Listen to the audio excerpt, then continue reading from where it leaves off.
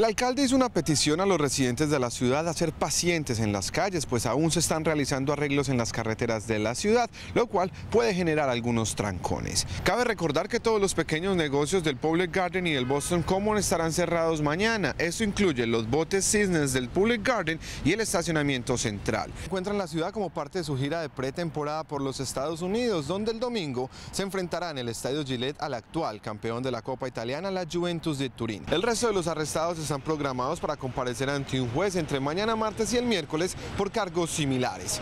El alcalde Mary Wall se enfrenta al concejal Tito Jackson y otros dos candidatos en su carrera por la reelección.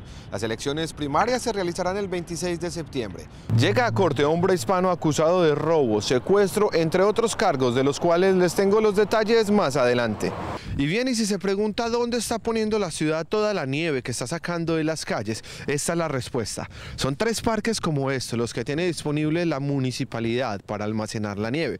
El problema es que están llegando a su máxima capacidad y de llenarse, entonces tendrían que comenzar a poner la nieve en las dos canalizaciones con las que cuenta Lawrence. Y si esas canalizaciones se llegan a llenar, ahí sí podrían comenzar a tirar la nieve al río Merrimack.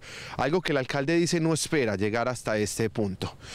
Promotores de esta ordenanza esperan que la misma sea aprobada sin mayores dificultades por el Consejo Municipal, convirtiendo a Medellín en la primera ciudad hermana de Boston en todo Latinoamérica. Así es, Katy, buenas tardes para ti y para todos los televidentes. Hacer del cuerpo de la policía de Lawrence uno de los más íntegros del Estado para así garantizar la seguridad de sus residentes es la nueva meta del alcalde Dan Rivera. Para esto, contará con la ayuda y el asesoramiento de un experto en el tema, el excomisionado de la policía de Boston, Ed Davids. Siempre estamos tratando de, mejorar la, la, comunicación entre la comunidad y la policía. Tantas veces yo oigo a la gente diciendo, ah, me trataron como un animal, me trataron como un perro.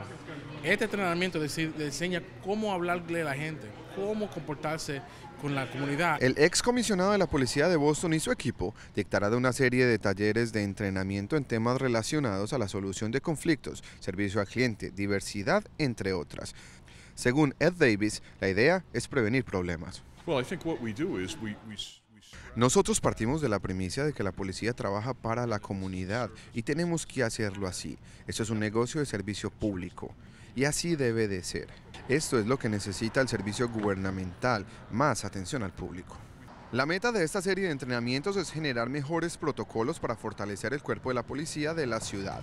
En total, son 130 oficiales que deberán pasar por estos salones de clase. Para el jefe de la policía, este entrenamiento será de gran ayuda para su departamento.